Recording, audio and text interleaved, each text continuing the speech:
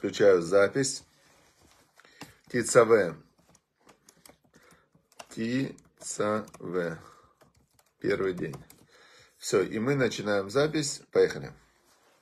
Значит, недельная глава сегодня будет про одежду. В основном про одежду. И мы сейчас разберемся, в чем смысл одежды. Вообще смысл. Какой смысл одежды? У человека очень одевается же, правильно? Во что-то. Сейчас мы поговорим о смысле одежды. И мы поговорим сейчас о том, как был одет первосвященник. И что самое главное в жизни. Значит, э, вся, вся неделя я сейчас провожу уроки Илуни Шамат Борух Бен Авраам, это мой папа, Зихранули Враха, который вот сейчас будет, следующую субботу будет Йорцайт его, годовщина смерти. И, значит, в этот день пересматривается его, как бы, состояние там. И, значит, я хочу ему помочь, что а, он на меня, видите, хорошо повлиял, что я стал религиозным. Он стал религиозным. Он в 72 года сделал обрезание. Представляете? 72 года. То есть человек, который всю жизнь был, воспитывался в коммунистической такой, ну вот, советской традиции, потом увидел, что есть а, Тора, увидел, что Тора это истина, и, значит, э, очень серьезно начал ее изучать. И Барухашем, видите, сделал обрезание, соблюдал шаббат, все. Хорошо, дорогие друзья, все, всем удачи, успехов и начинаем. Значит, «Ваатати цаве эдбне Исраэль вайку леха шемен зает зах, катит маор». Значит, начинается глава со слов «И ты прикажи сынам Израиля, и возьмут тебе, элеха, тебе, э, шемен зает, масло оливковое, чистое, катит маор» выдавленная для, для освещения, лялот нер тамид, чтобы поднять свечу постоянного свечения. Значит, э, ну, первое, понятное, да, э, отмечают комментаторы, например, Раша, да, по-моему, это был. Значит, говорится, прикажи, слово тицаве, прикажи, оно имеет такой определенный акцент специальный, да, что когда ты делаешь духовные вещи, а это духовная вещь, то есть ты зажигаешь свечу, или ты там зажигаешь шабатные свечи, или ты э, делаешь какую-то заповедь, да, духовную, ты не увидишь сразу от нее результата. То есть, э, и особенно если эта заповедь связана с какими-то затратами времени, денег, усилий, то ты делаешь духовную вещь, но ты результат, это не так, как ты поработал час, получил деньги – или зерно бросил, оп, видишь росток, да, тоже сразу не видишь, но как-то более-менее понятно. В духовных вещах ты делаешь заповедь, и ты как будто бы она как свеча, которая сгорает, оп, нету, ничего нету. И мы верим, очень сильно верим, что заповедь, которую ты делаешь, она превращается в духовную энергию, которая потом возвращается тебе через э, какие-то события твоей жизни – и а, часть, главная часть любой заповеди, как а, мы знаем, что в этом мире нет награды за заповедь. В этом мире есть только пирот, да, как, ну, грубо говоря, ты посадил дерево, плоды снимаешь, а дерево-то остается, дерево тебе на годы.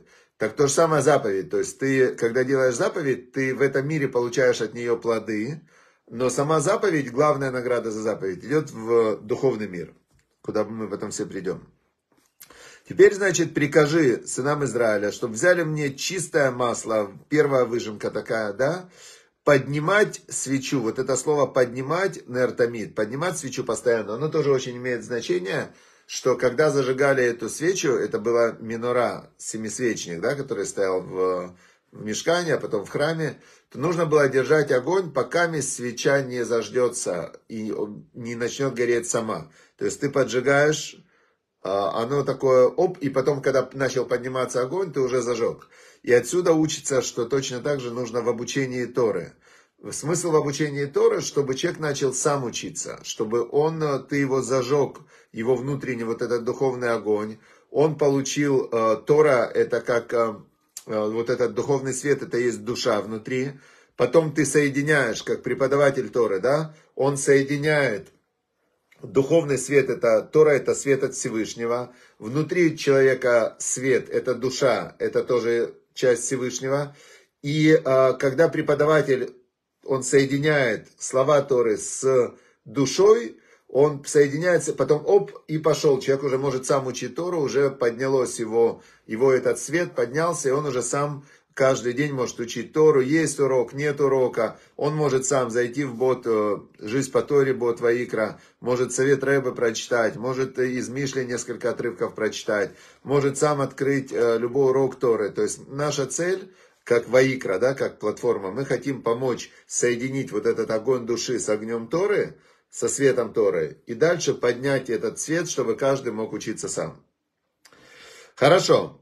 Боэль Моэт, это будет в шатре, а, в шатре это будет, да, в Оэль Моэт, это как в Мешхане, Михусля Порохет. Вы помните, была там святая святых, потом была занавес, Порохет он называется, и там стоял семисвечник, золотой жертвенник для воскурения, их стол для хлеба. Значит, и, э, и это будут делать, зажигать этот свет. Будет Аарон и его сыновья, с вечера до утра перед Богом, и это постановление вечное на все поколения для сынов Израиля. Значит, тут мы видим еще один очень важный принцип. На тот момент Бог выбрал, э, выбрал можно сказать, посредника, да, пос, да, это слово подходит, посредник, тот, кто стоит посередине, между еврейским народом и Богом, были, был Аарон, Коин, священник – и четыре его сына, которые были на тот момент, Надав, Авиу, Илязар и значит, они э, были выбраны Всевышним как э, посредники между еврейским народом и Богом. Они зажигали свечи, они заходили в святая святых, они делали жертвоприношения. И с тех пор потомки Аарона и его вот этих четырех сыновей, и потом к ним присоединился еще один, получил этот статус, это был Пинхас – Пинхас был внук Аарона, но он не, на тот момент еще не родился. И, значит, он не входил в эти вот э, пять человек. Аарон и его четыре сына. Но Пинхас за счет своего поступка, он тоже к ним потом присоединился. Будет у нас глава отдельная про это. В еврейском народе с тех пор только потомки Аарона, четырех сыновей и пятого внука, получается, Пинхаса, только они могут быть священниками. И тут возникает вопрос, возникает очень большой вопрос, да? Э, почему Всевышний именно так установил э, вот этот э, наш мир? То есть он установил, что есть вот это генетическое разделение какое-то, и даже в еврейском народе, вот я при всем желании, вот что бы ни я ни делал, я не смогу стать коином, священником. Вот у меня сосед, вот прям за стенкой, он коин, он из рода коинов. Значит, он в синагоге благословляет народ. Когда будет храм, когда будет храм, то коины, священники, будут служить в храме. А я нет, никак. Вот что бы ты ни делал. Почему Всевышний так сделал? Не знаю. Что это значит? Он лучше, чем я совет, сосед мой. Нет, у него другая функциональность, и у него э, другие ограничения. То есть на коинов действует больше ограничений, чем на меня. То есть он как он коин, у него есть больше уровень святости, но и на него действует больше ограничений. То есть э, тут ты выбираешь, что ты хочешь. Больше уровень святости это не круче, это больше ограничений, ты больше должен. Вот и все. Значит, пускай он будет священником, а я нет. То есть я и не могу быть священником, мне не надо. Дальше. Вата Акрев Элеха это Арона Хиха. И теперь, а, значит, приблизь к себе Арона, брата твоего, это Бог приказывает Машарабейну, его сыновей, из сынов Израиля ты их выделяешь. Лика, оно ли быть священниками мне, служить мне. Аарон, Надав, Вавиу, Элязар, и Тамар. Значит, идет опять их перечисление. Бней Аарон, они сыновья Аарона. Васита бигный кодыш для Аарона Хиха. Значит, и сделай одежду святую для Аарона, брата твоего. Вот тут мы приходим сейчас к вопросу одежды. А, то есть мы видим, что вот этот вот момент, за, опять же, мы видим здесь некий порядок приоритетов. Прежде всего, это знание. Да? То есть человек без знания, он не может. Учение свет. Вначале говорится о зажигании светильника храмового, который обозначает свет Торы. И дальше рассказывается, кто может этот свет Торы зажигать, Аарон и его сыновья. А теперь дальше, э, как они должны быть одеты. И это удивительная вещь, которая была бы непонятна без э, осознания, что материальный мир – это проекция духовного мира. И имеется в виду, что одежды материальные, даже у простого человека, да, по одежде встречают. Почему по одежде встречают? Потому что человек одевает на себя ту одежду, которая говорит вместо него. То есть он мог бы словами сказать, посмотрите на меня, я вот такой-такой, я хочу, чтобы меня воспринимали вот так. Но он это не будет каждому встречному говорить, а он просто одевает на себя одежду и говорит, смотрите, вот я, например, одел этот штуку, да, вот такая, это Левис. Левис, э, значит, черная спортивная куртка. То есть я всем хочу сказать, что Искак Пентусевич, он спортсмен. Я, я как бы, я себя хочу так ощущать, что я еще очень спортивный человек, да, поэтому я хожу в спортивной куртке. А, вот, черный, потому что черный и белый цвет это цвета, в которые одеваются религиозные люди в Израиле. И я этим хочу подчеркнуть, что я религиозный, но из-за того, что я без белой рубашки, что я не профессионал. То есть я, это не является моей профессией. А, то есть я человек, который религиозный, но я работающий религиозный. То есть, оп, я мог бы все это каждому рассказывать, но я думаю, зачем я буду рассказывать? Я одену черную кофту с капюшоном, черную футболку, и, значит, э, все, всем понятно, что я... А если непонятно, значит непонятно. Все. Теперь Одежда – это отражение внутренних свойств и качеств человека. Поэтому э, я сейчас тоже задумался над этим, что э, действительно через внешнее видно внутреннее. Я думаю, может мне стать более каким-то собранным, и это моментально выражается в том, что я одену рубашку. То есть э, изменение внутреннего качества, оно отражается в одежде. То есть одежда это не просто так, да? Но интересно, что на иврите слово бегет, бегет, одежда, бегеде, это как бы буквы, а, буквы, э, очень интересно, я не обращал внимания. Значит, бет это 2, гимл это 3, далит это 4, вместе это 9. Значит, 9 это дематрия слова эмет, эмет истина. То есть, с одной стороны, одежда, она показывает э, снаружи, какой ты внутри. С другой стороны, бегет э, корень вот этот вот бегет, это ливгот, это изменять.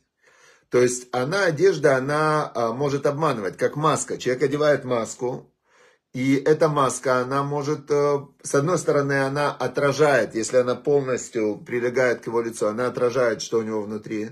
Но с другой стороны, маска может скрывать то, что у него внутри. Поэтому одежда, она также может, э, человек переоделся, да, он переоделся в религиозного, он одет как религиозный. Но это может быть обманом. То есть вот тут, чтобы мы обращали внимание, что с одной стороны одежда это эмет, это истина, но с другой стороны одежда легко может быть обманом, когда человек хочет обмануть, он переодевается в другого человека, и все, то есть этим, этим очень легко обмануть. Значит, Бог говорит Маше Рабену, и сделаешь одежду святую Аарону, брату твоему, лековод у летиферет для почета и для великолепия. То есть вот тут нам понятно, для чего, э, для чего дальше описывается одежда. Я вам сейчас в телеграм-канале сбросил статью о одежде первосвященника, там есть фотография. Это что-то фантастическое. Только каждая нитка была сплетена из 28 отдельных ниточек. Э, каждая, э, значит, всего было 28. В, они были разделены по 4 нитки, и в каждую из четырех вплеталась еще золотая нить. 6 на 4, 24, правильно. 6 ниток было, 6 ниток каждой, в каждой было штуке 6 ниток. Каждой шестой нитки вплеталась золотая, брали листы золота, их растягивали на нити. Значит, 6 нитей цветных, с ними сплетается золотая нить. Получается 7, 7 на 4, в 4 раза это сплетается, 28, получалась вот такая нитка. Из этой нитки делали одежду. Все украшено драгоценными камнями. На драгоценных камнях вышивка. Там э, космический корабль. Просто конкретно космический корабль, это была одежда первосвященника. Для чего? Вот написано, сделаешь ему одежду лековод у летиферет. Для почета и для великолепия. Значит, что такое почет? Давайте разберемся. Почет – это смесь двух, э, двух, двух э, других э, как бы состояний. Да? Любовь и страх. Вместе это называется почет. Значит, если кого-то ты любишь, и, то есть Аарон, например, его весь народ Израиля любил, он был очень добрый, он всегда делал шалом, он был, ну, очень святой человек. 30 дней потом по нему скорбил весь народ Израиля, все плакали. Он делал всегда шалом между людьми.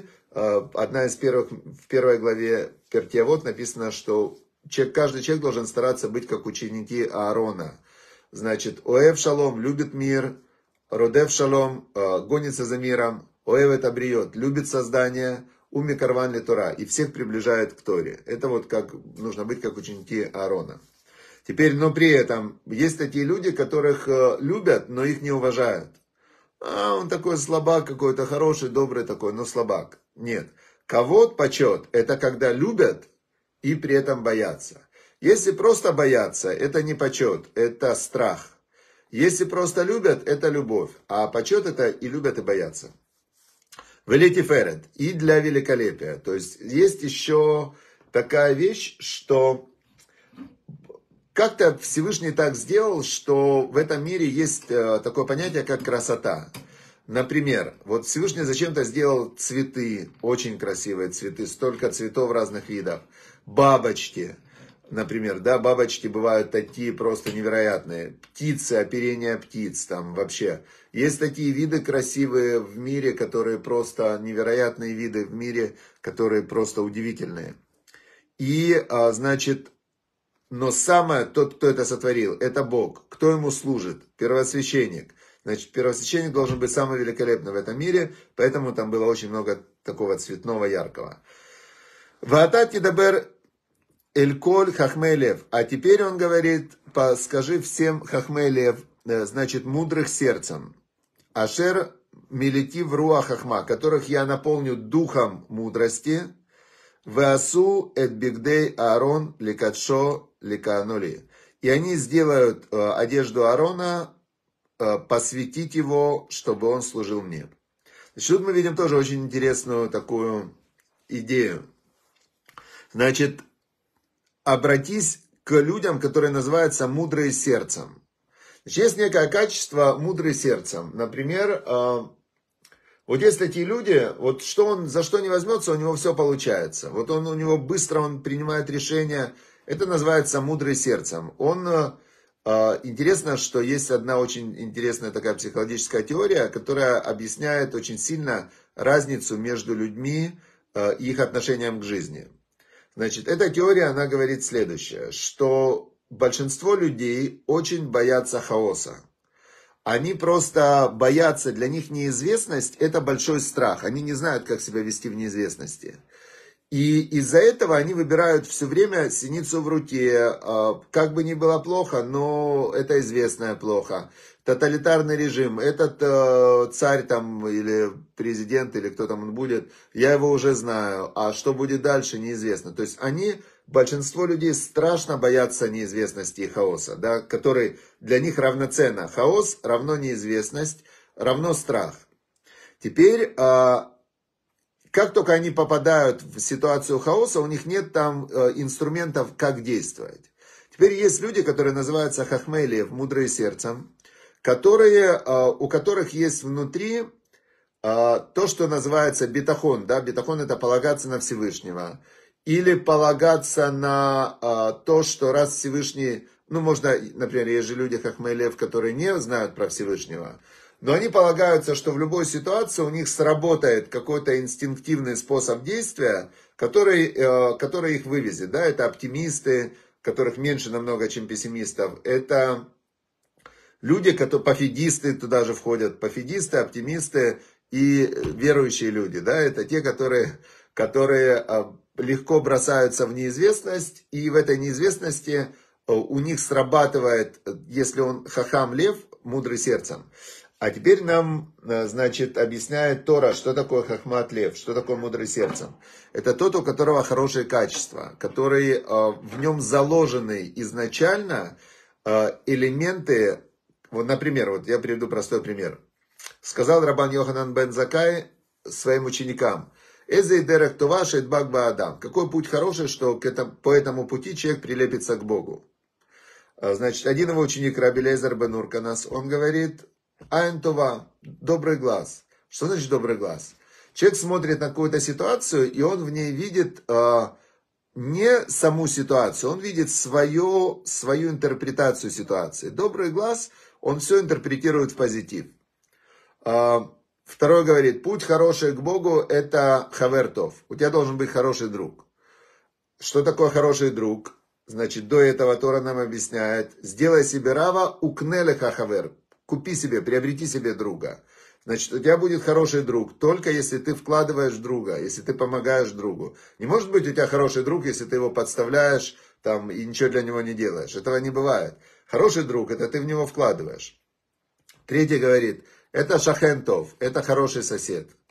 Значит, э, как у тебя будет хороший сосед? Если ты, первое, выбираешь место жительства, где живут хорошие люди, а почему ты будешь выбирать место жительства, где живут хорошие люди? Значит, для тебя важно, э, что будут видеть твои дети, как они будут воспитываться. То есть для тебя важно не сиюминутная выгода, а ты смотришь на качество людей, с которыми ты живешь. Лот, например, он пошел в, с дома Амору и все потерял.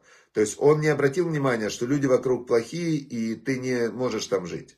Теперь человек выбирает, а, значит, вот эти пять параметров, они очень важны. Первое, это добрый глаз, это позитивная интерпретация. Второе, хороший друг – ты умеешь вкладывать друзей, умеешь дружить, умеешь э, э, не, с людьми не просто не ссориться, а именно делать так, чтобы им вокруг было хорошо. Хороший сосед. Ты умеешь с соседями жить в мире, выбираешь место для жительства, где вокруг хорошие люди. И они постоянно на тебя позитивно влияют, потому что сущность человека проявляется в момент контакта с другими людьми. И контактируя с хорошими людьми, ты сам становишься хорошим. Дальше, Аруэ это сказал четвертый, Раби Шимон бен Натанель. Он сказал, что тот, кто видит родившийся, это человек осознанный, человек, который видит, что рождается, он отсматривает причинно-следственные связи, он не спешит, он исследует то, что вокруг происходит, это называется видящий, видящий родившийся, да, то есть понимающий причинно-следственные связи. И пятый, Раби Элязар бен Арах, он сказал, путь, по которому человек приблизится к Богу, называется левтов – доброе сердце. И сказал Раби Йоханан бен Закай, что вот его, то, что он сказал, включает все, что было. То есть есть некое понимание, что такое добро, да, то, что Всевышний назвал добром, и зло. По-простому, э, конфликт это зло, разделение это зло, соединение это добро. Как аава, любовь, это соединение, э, значит, э, зло, обман, шекер и так далее. То есть зло это всегда разделение, это конфликт. Добро это соединение, это, это любовь и рост, развитие, соединение. Теперь человек, который выбирает рост, развитие, соединение, добро, это значит у него доброе сердце. Если у тебя доброе сердце, то тогда ты хахам лев, тогда ты умный сердцем. И тогда, что дальше написано? Ашер милатив руахахма. И я их наполню божественным духом, духом мудрости. Всевышний говорит, пожалуйста, Тора же, она не, не возникает вдруг. То есть еще праотцы э, соблюдали Тору, Авраам, Ицкак и Яков. Машарабейну только он спустил формулировку Торы и передал это еврейскому народу. Получается, что Тора, она есть. Это как закон всемирного тяготения, как законы физики, законы химии. Только это духовные законы, которые есть. И ученый, он учится тому, что открыли его предшественники, и ему открывается какое-то новое видение в описании законов.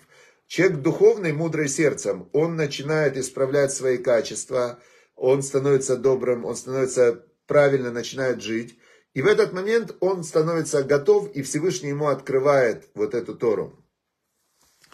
Теперь, значит, э, и они вот эти вот мудрые сердцем, Бог их наполнит духом мудрости, и они сделают э, одежду Аарону. И вот дальше одежда, я уже не буду перечислять, уже 27 минут мы учимся.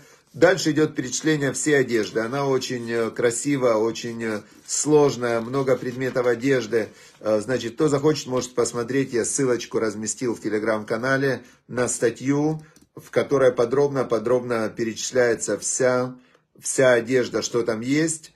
И, значит,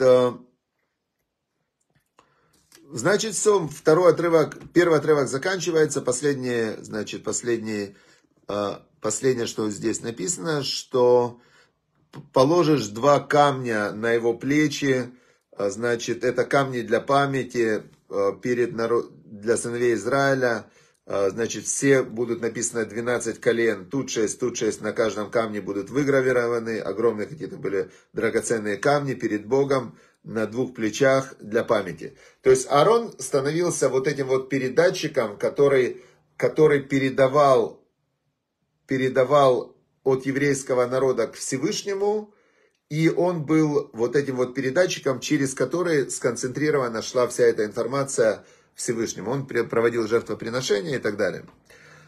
Все, дорогие друзья, напишите, пожалуйста, свои выводы внизу. Учить Тору – это действительно вот сегодня то, что я взял для себя. Что важно не то, что ты рассказал, важно то, что осталось у тех, кто тебя слушал. Э, поэтому напишите свои выводы, да, что вы для себя поняли. И посмотрите самостоятельно какую-то идею, которая вас заинтересовала, просто посмотрите про нее продолжение, погуглите, может быть, в гугле можно набрать, можно посмотреть, сделайте какое-то мини-исследование, напишите три вывода своих, можете почитать какие-то три вывода других участников урока, э, выводы, инсайты, что для вас было важным и ценным. И какой-то из этих выводов э, попробуйте сделать свое личное исследование, а что там дальше. И обязательно, как нас учит Пертиавод, что тот, кто учит, чтобы обучать, ему с неба дают возможность и изучать, и обучать. Тот, кто учит для того, чтобы выполнять, чтобы делать, тому с неба помогут учить, обучать, запомнить и сделать. Поэтому, если вы сейчас еще после этого сделаете какое-то действие, которое вам, вот вы чувствуете, надо что-то сделать, мецву, какую-то заповедь, это будет вообще идеально, идеально. Все, дорогие друзья, удачи, успехов, чтобы Всевышний благословил всех хороших, добрых людей, которые помогают э, в платформе Ваикра, которые выполняют заповеди Всевышнего, и чтобы было у вас э, все, что вот вы у Всевышнего просите, Аминь, чтобы Всевышний вам дал то, что вы просите, для добра, для того, чтобы вы могли больше божественного света приносить в мир и делать больше добра. И чтобы было Рифа Шлумали Раиса Бат Александра, или Рав Ашер Бен Шендел. Очень важно сейчас э, молиться Рав Ашер Бен Шендел. Это Рав Ашер Кушнир, у него была проблемы со здоровьем, он столько сделал, столько людям помог, мне лично он очень помог, вот чтобы ему было тоже полное, полнейшее выздоровление, Рав Ашер Бен Шендел. Все, всем удачи, успехов, до завтра. Счастливо.